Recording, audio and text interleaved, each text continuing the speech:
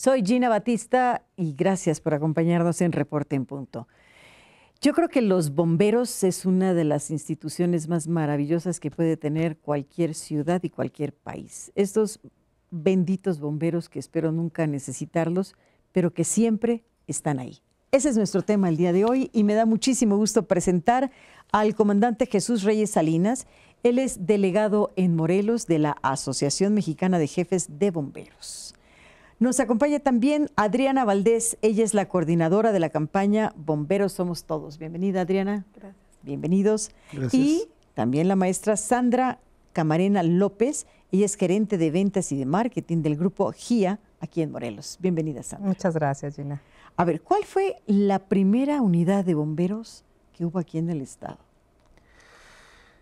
Y hasta donde tenemos conocimiento de las primeras unidades que hubo fue alrededor de 1950, 1949, algunas gestiones que se iniciaron, pero eh, de hecho uno, uno, uno, de los que nos antecedieron como, como jefes aquí en Bomberos uh -huh. eh, fue un comandante que él gestionó esas unidades, no recuerdo la marca, pero sí tenemos ahí algunas fotografías, incluso este comandante fue el primer, fue de los primeros miembros que eh, formaron la Asociación Mexicana de Jefes de Bomberos, junto con un compañero de Cuautla en aquel entonces. Pero este, sí, ya en esas décadas de, de, inicios de los 50 fue cuando aquí en Morelos eh, se contó con una unidad contra incendios. Tengo entendido, comandante, que usted es nieto de bomberos, hijo de bomberos también, que ha estado siempre su familia vinculada en este tema. Eh, bueno, no así, pero este eh, hemos estado ahí trabajando uh -huh. digo, con, con, comandantes que, que conozco uh -huh. eh, en otros estados y es por eso que también nos han apoyado para, para la delegación aquí en Morelos. Aquí en Morelos. Eh, antes tengo entendido, no sé si ustedes lo sepan, que los bomberos aquí en Morelos dependían de lo que era el gobierno del estado. Me parece que con los años hubo un cambio de ley. ¿A dónde los llevó este cambio de ley? Sí, eh, inicialmente aquí en, en, Morelos, en cualquier parte de, de, de, la República del mundo, hay necesidades de un cuerpo de bomberos. Inicialmente la, las personas que se encargaban de combatir los incendios aquí en Morelos eran los oficiales de tránsito. Ellos, ellos fueron los, los ¿Estaban iniciadores. Capacitados? No, inicialmente no como, como todos, sino simplemente había servicios que se tenían que atender y ellos eh, estando en cruceros o estando en sus oficinas Ajá. de tránsito, pasaban por ellos y ahí se iban a, a, los incendios. Pero los que nos antecedieron a nosotros fueron oficiales de tránsito y ya poco a poco empezaron a formarse ya cuerpos de bomberos. Sí, sin capacitarse. Sí, inicialmente sin capacitarse. Si pero, era el policía y ayudar a lo que toca ayudar. Sí, y ya lo que se buscó es, junto con la gestión de la unidad contra incendios, fue también mandar a capacitar a, claro. a los compañeros de, de, tránsito en aquel entonces para formar un cuerpo de bomberos, eh, inicialmente en Cuernavaca y, posteriormente en Cuautla. Y ya después entran a formar parte de los municipios. Sí, ya los municipios ya es más reciente. Eh, en 1997, cuando la mayoría de los municipios se descentraliza del Estado, eh, pasamos a ser parte de, de los municipios principalmente Jojutla, Cuautla ya lo era y Cuernavaca. Habían, habíamos nada más tres estaciones en lo que es la... Para los 33 hasta el 2000 imagínese. todavía habíamos tres estaciones, cuatro con la de Cibac, pero hoy es, es independiente, pero era Jojutla, Cuautla, Cibac y Cuernavaca. Y ahorita, bueno, ya hay, una, ya hay más cuerpos de bomberos en el estado, administrados por su propio municipio. Cuando administrativamente se van a depender de los municipios, ¿es cuando se atora un poco más el tema financiero para los bomberos? Inicial, porque no hay dinero. Inicialmente no, inicialmente no, no porque eh, eh, en, la, en, la, gestión, en el caso, por ejemplo, de, de, de Cuernavaca, eh, el licenciado Sergio Estrada fue un, una persona que nos apoyó mucho, nos, nos, nos compró unidades eh, ambulancias, motobombas, que incluso actualmente siguen funcionando. Me diga. ¿Cuál ha sido el desarrollo de los cuerpos de bomberos aquí en el Estado y, y, cuál podríamos decir, sobre todo ustedes, yo creo que lo saben, ya que están apoyando esta campaña de financiamiento, cuál es la situación el día de hoy? ¿En qué, en qué situación financiera están los bomberos? Creo que muy lamentable. Eh, hemos hecho un recorrido eh, por las 11 corporaciones que hay, eh, que es Cuernavaca, Temisco, Ayala, Xochitepec, Emiliano Zapata, Zacatepec, Jojutla, Ayala, este, eh, Cuautla, y Yautepec, ¿no? Entonces, en todos es lamentable ver la situación, las carencias, el, el, abandono, la falta de mantenimiento preventivo, no correctivo, el preventivo que se ha visto reflejado en eh, no solamente en las unidades, sino en los equipos de protección personal, en las herramientas que, que son indispensables para desempeñar el trabajo de, de que, que hacen los bomberos. Tenemos hoy una ruta crítica, una evaluación de qué es lo que necesitan nuestros bomberos en Morelos. Sí. Sí, ¿Sí? la tenemos, Sandra. A ver, cuéntanos. Bueno, sí hay una evaluación y saben que estamos trabajando para ello. Eh, también, eh, desafortunadamente, sabemos que han sido abandonados y que la gente cree o muchas veces pensamos que nosotros somos los que necesitamos, que es lo que platicábamos. Realmente no, ellos no son los que nos necesitan. No, nosotros, los necesitamos, necesitamos a ellos. a ellos. Sí hay evaluación que se han venido haciendo. De hecho, nosotros tenemos, nos mandaron apenas algunas fotografías de registro para, eh, bueno, pues para continuar con estas dinámicas, porque esta campaña, con esta campaña iniciamos, eh, bueno, pues esta dinámica, pero hay de fondo hay mucha, muchas cuestiones más que se están haciendo, subastas. Claro, pero lo primero era saber cuál es la situación de los bomberos. Pésima. Pésima. Está, necesitamos equipo, necesitamos dinero, necesitamos capacitación, necesitamos que nuestros bomberos tengan con qué para ayudar a la ciudadanía. ¿Por ahí vamos? Ahí, Gina, me gustaría comentarte rápidamente que la capacitación... Si me permites, vamos a hacer una pausa, es muy, muy breve, y regresamos sobre qué es lo que necesitamos, en dónde estamos parados y para dónde queremos caminar. No se vaya, volvemos.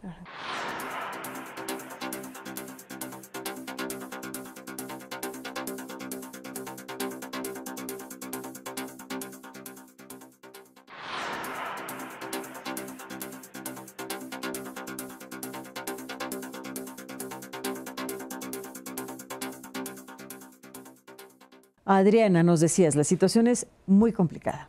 Sí, es muy complicada. Eh, cada una de las estaciones tiene diferentes este, necesidades, sin embargo, pues todas carecen de lo mismo, ¿no? Equipos de protección personal, prácticamente los equipos, ellos lo llegan a adquirir de las donaciones, de las donaciones, de las donaciones. Y ese equipo que consigue a lo mejor la delegación este, de jefes de bomberos, a lo mejor que se las dejen en, un costo muy bajo, pero ese equipo que en ocasiones llega a adquirir el municipio, pero en otras muchas no. Y no adquieren como un total para la cantidad de bomberos que hay. En el estado de Morelos contamos con 306 bomberos que son este dependen de los municipios.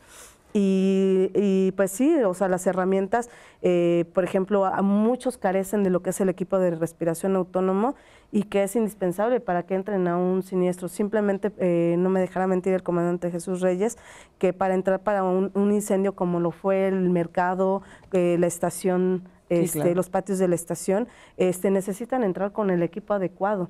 Eh, ustedes pueden ver los uniformes, cómo están desgastados, como... Es un riesgo incluso para ellos, ¿no? Entrar claro, totalmente. Ahora, también me decías que no hay espacios, ¿no? Que en Zacatepec están en una tienda de campaña, que en otro lugar están en una bodega. Eh, por ejemplo, Tepoztlán, que es un, cuerpo de bomberos que se está empezando a conformar con siete, eh, están en, pues es una una casita como de las prearmadas que tienen ahí que se pues se van acomodando como pueden. Entonces realmente las condiciones en las que tienen a los bomberos sí son este ganan pues, es voluntario cómo funciona eh, sí ganan sí tienen un sueldo eh, los, los que son bomberos municipales. Mm. tienen prestaciones pero creo que en algunos casos las tienen congeladas. Entonces oh, bueno. este eh, vamos los, los, los, los bomberos a pesar de que tengan este un sueldo, no, bueno, no les es suficiente. Ellos generalmente hacen jornadas de 24 por 24. En casos como Emiliano Zapata hacen jornadas de 48 por, este, por 48. Y no es fácil, además. Eh, yo me ha tocado ver, vivir eh, cerca de los bomberos y en una ocasión en los bomberos me tocó llegar y ver cómo estaban, vámonos en nuestra unidad, es que hay una emergencia y la tenemos que atender. No hay unidades, no tenían unidades. Estaban en el mecánico, este, la otra no servía, la otra no tenía este, asientos, en fin.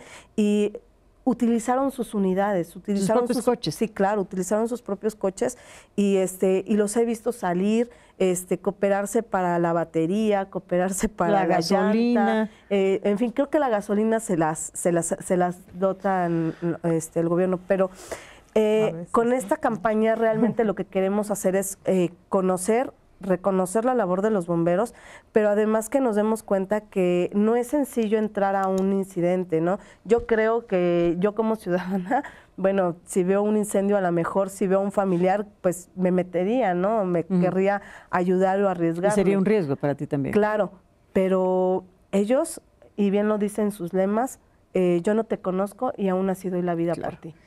A ver, Adriana, tú bien estás diciendo que hay que conocer y reconocer lo que están haciendo los bomberos. Y aquí, Sandra, yo creo que iniciativa privada y la sociedad en su conjunto nos toca hacer algo y algo que creo que es muy importante.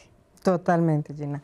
Pues en este momento nosotros ya estamos trabajando a favor de la segunda carrera. Eh, la primera carrera la tuvimos en el 2017, después del temblor, en donde tuvieron pues, nuestros bomberos un trabajo Extraordinario. Eh, bárbaro. La verdad es que estuvieron todo el tiempo pues apoyando a la ciudadanía.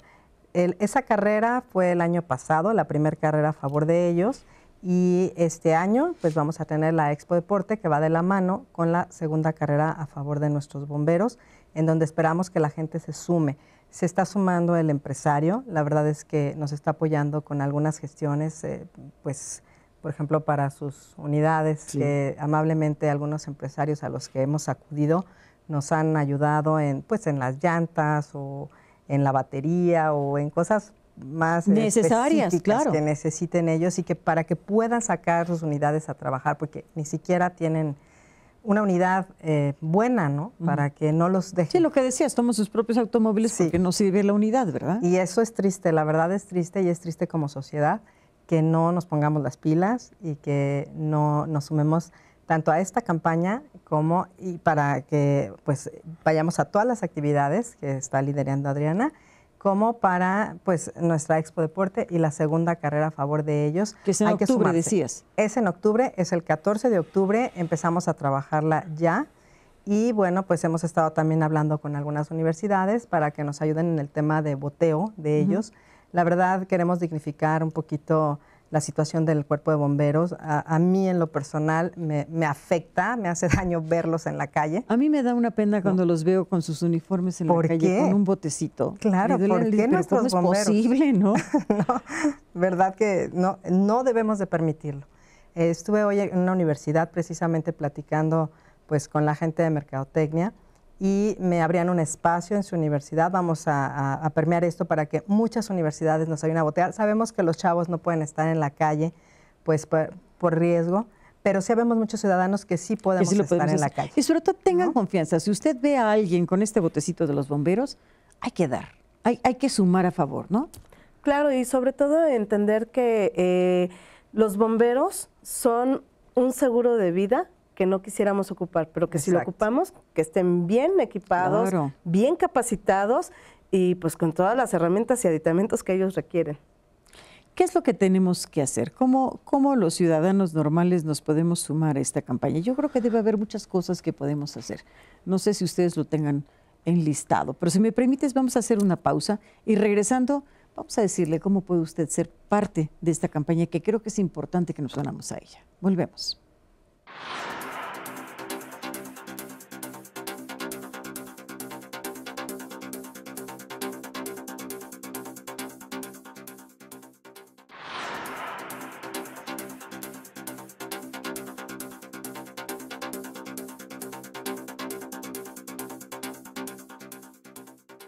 Yo rara vez pido algo, pero ahora sí me voy a atrever a pedírselo. Adriana, ¿cómo? ¿Cómo nos podemos sumar a esta campaña? ¿Qué nos toca hacer a los ciudadanos? Primeramente, como ciudadanos, pues creo que enseñar a nuestros hijos a respetar los números de emergencia, a no hacer llamadas en broma, a que les demos y les brindemos el paso vehicular cuando van en una emergencia, no pegarnos, porque cuando van en una unidad de emergencia y tienen que cambiar de rumbo, se puede ocasionar otro accidente por el simple hecho de que un, por abrir, por ir detrás de la unidad para ganar paso o ganar más espacio, se pegan a las unidades. Entonces creo que ese tipo de pequeños detalles son los primeros. Segundo, acercarse a, sus cuerpos de emergencia, ¿no? Eh, donde les enseñen, eh, hay muchos talleres de prevención tanto para niños como adultos. Nosotros en un momento dado, a través de los propios cuerpos de bomberos, nos apoyamos mucho para dar, a, ir a dar talleres, colonias, escuelas, este, empresas, con, con, la intención de generar una cultura preventiva, pero es una, un trabajo de unión entre ciudadanos, posteriormente con empresas, pero sobre todo también con los cuerpos de emergencia. ¿Cómo, cómo, cómo los jóvenes en estudiantes, como los niños en las escuelas, eh, como los que estamos trabajando y viviendo en ese estado, podemos eh, sumar, independientemente de, por supuesto, cuando usted vea a un joven, cuando vea a un bombero con su bote, sea generoso. ¿Qué más tenemos que hacer? Este es un tema de responsabilidad social, totalmente, y de manera institucional, como lo estamos manejando por medio de Grupo GIA, pues los invitamos, ¿verdad?, a que participen. En los próximos días van a ustedes a poder ver lo que llamamos nosotros EFAS, en donde van a venir los números de Adriana para sumarse a la campaña, que ya ella les, eh, pues, eh, les dirá exactamente cómo pueden integrarse. Y en el caso nuestro también van a venir el eh, números de Grupo GIA e inclusive mi teléfono, en donde los vamos a, pues los vamos a invitar a que se sumen a este esfuerzo, a que participen por ejemplo, en una subasta que tenemos, tenemos eh, la subasta ahorita, eh, la rifa, porque ya tuvimos una subasta, la rifa de la pintora Lulu Arce, que amablemente nos donó una obra de, ella, eh, y no hemos podido terminar de vender los boletos, ¿no? A lo ¿Cuánto pesan los boletos y en dónde los conseguimos? 200 pesos. ¿Hay una página web, un teléfono en o algo? En Grupo GIA vamos a estar dando informes, sumarse a la carrera, sumarse al boteo, e-, ese tipo de Hay un, perdón, teléfono del Grupo GIA. 310-4031 o al 777-343-1981, que también es mi privado, con mucho gusto. Y bueno, a todo empresario que nos vea, sabemos que tenemos muchas necesidades con los bomberos, que se acerquen, porque siempre, siempre van, a, van, a, ser bienvenidos para cualquier tipo de donación, para cualquier tipo de unidad, algún uniforme, una salita. Hemos visto sus salas en donde descansan están en pésimas condiciones. Todo, todo es bueno. Vamos a abrir el corazón y también la cartera. Exactamente. A ver, comandante, ¿usted qué le toca? Que se la rifa todos los días. ¿Qué quiere que hagamos? Eh, ¿Qué le pediría a la gente? Eh, bueno, que se sumen al llamado que están haciendo tanto la campaña como la iniciativa privada. Eh, hemos recibido también apoyo de, otras, de otras empresas donde nos han donado uniformes, donde, donde nos han donado este, este, año nos donaron botas contra incendios. y, bueno, eh, ahí lo que nos compete a nosotros, bueno, es capacitarnos constantemente, eh, que, lo hacemos ahí. Nosotros ahí mismo practicamos o buscamos cursos fuera del Estado para ir a capacitarnos. Y, bueno, lo que se reúne eh, año con año con estas campañas, pues de alguna manera lo vamos administrando. ¿Hay una bolsa común para todos los bomberos del Estado o nada más por municipio o cómo funciona? En el caso, eh, por parte de la delegación, eh, he estado trabajando en la situación para ver qué podemos bajar este, como recursos. En años pasados, desde el 2013 que estoy encargado de la delegación, pues hemos logrado traer recursos didácticos con, eh, para cada municipio con, valor de, de 11 mil, alrededor de 11 mil pesos cada, cada recurso didáctico para los cuerpos de bomberos. en, en, ese, en ese tiempo también junto con otros compañeros de, Emiliano Zapata, del Covanteri Rocha en ese tiempo, se logró también que los bomberos de Emiliano Zapata tuvieran unos equipos de bombero y un, y un, jet se le llama, que es un, es un tipo bomba que se monta, monta en una camioneta y sirve como una unidad de bomberos pequeña. Eh, capacitaciones, entonces eh, en alguna ocasión también eh, logré bajar equipos contra incendio de protección, este, bueno, equipos de protección personal, de equipos de protección personal que son contra incendio y son, son equipos que son, son caros. Eh, estos, al final de cuentas, algunos venían seminuevos, otros sí ya venían usados, pero al final de cuentas, pero estos nos están sirviendo actualmente. Un tiempo también, incluso la, la Ciudad de México nos llegó a donar equipos que ellos también van este, van desechando de alguna manera. Y bueno, ahorita eh, eh, en, el, en, el, caso de las unidades, bueno, aquí como, como la licenciada Sandra menciona, eh, hemos estado reparándolas, no llegamos a repararlas al 100%, pero por lo menos están operables ahorita algunas para poder Será importante que, que, realmente estén en funcionamiento. Yo les tengo dos preguntas. ¿Hay una cuenta bancaria en donde depositar y si hay deducibilidad de impuestos en este asunto? ¿Hay? No, no. ¿No, Adriana? ¿No aún? No hay aún. Eh, realmente en este caso nosotros como campaña no hemos este, buscado el este dinero como tal, lo que buscamos es el, conocer y reconocer a los bomberos con las actividades artísticas que nosotros realizamos durante todo el mes de agosto. ¿Pero necesitamos dinero o no? Se necesita mucho dinero. Alrededor de un, equipo de protección personal cuesta alrededor de 50 mil pesos. Un equipo de respiración autónomo cuesta alrededor de 35 eh, mil pesos. Este, para un solo bombero estamos hablando de 85 mil, 90 mil pesos que se requiere. Son 306 bomberos. ¿Pronto tendremos una cuenta bancaria? Pronto. ¿En donde quien quiera hacer alguna aportación financiera la pueda hacer? Claro, se está trabajando. se tiene que trabajar en ella. Se está trabajando ahorita solamente con patrocinios. Patrocinios que eh, pues directamente lo relacionamos con los bomberos y ellos se los dan de manera directa. Sin embargo, sí es muy importante el que tengan una cuenta, el que puedan ellos ya manejarse de manera independiente y nosotros solamente ser pues eh, el canal, ¿verdad? Pues si el canal me repite a dónde tenemos que llamar, qué página web hay, a dónde podemos acudir, yo se los agradecería muchísimo. Yo creo que tú, tú tienes el, el dato, Sandra. En el caso institucional de Grupo GIA, tenemos la página de Grupo GIA, por supuesto, eh, y nos pueden llamar al 310-4031, al 777-343-1981. Para todo tipo de pregunta que tengan, todo tipo de donación, se canaliza directamente con ellos. Pues yo les agradezco muchísimo y la verdad es que les deseo la mejor, la suerte en esta campaña a favor de los bomberos y gracias por habernos acompañado. y sí le quiero solicitar a usted que se toque el corazón, abra la cartera y pues sea parte de este movimiento que realmente necesitamos todos tener unos bomberos que, que tengan con qué trabajar y que lo hagan de manera segura y que lo hagan de manera eficiente. Gracias por habernos acompañado. Hasta la próxima.